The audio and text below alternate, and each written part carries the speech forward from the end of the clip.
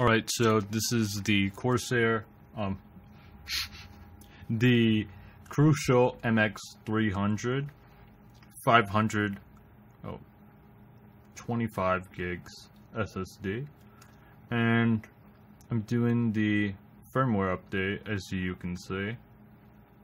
I've never done a firmware update on an SSD, so hope everything goes quite well. Don't want to lose my data.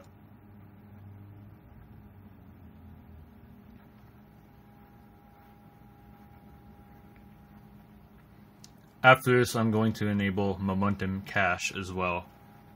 I'll just fast forward.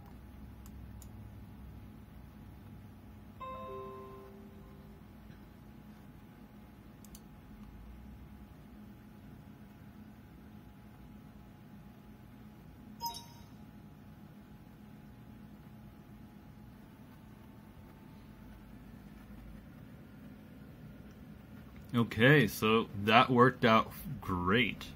Now, let's do the momentum cache. Yep. Here we go. Let's do it.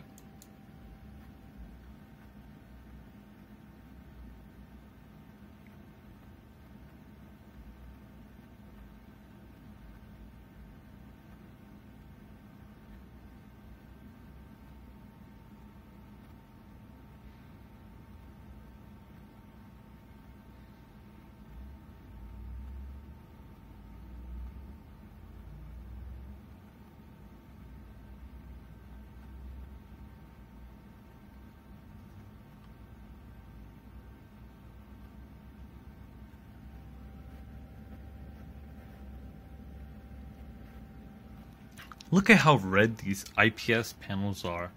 They're so beautiful. It's like Hawaiian red punch. Man, that looks really good.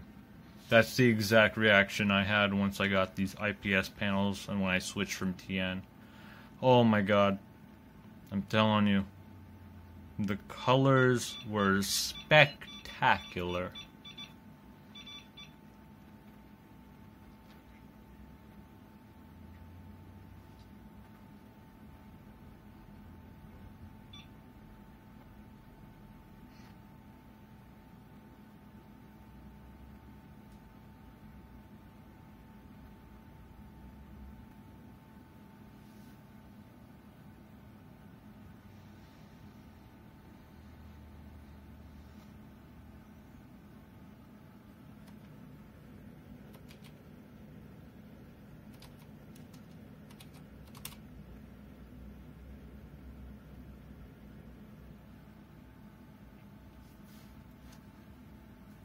Look at that.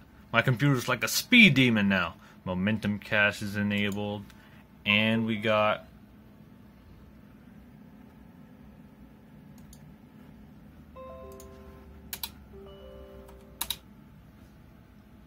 Alright, we got momentum cache enabled and uh,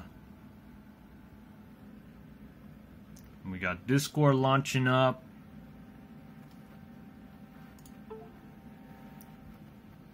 Boom. Okay, there it is. We got the latest firmware revision. And we have Momentum Cache. Come on, Momentum Cache, what are you doing?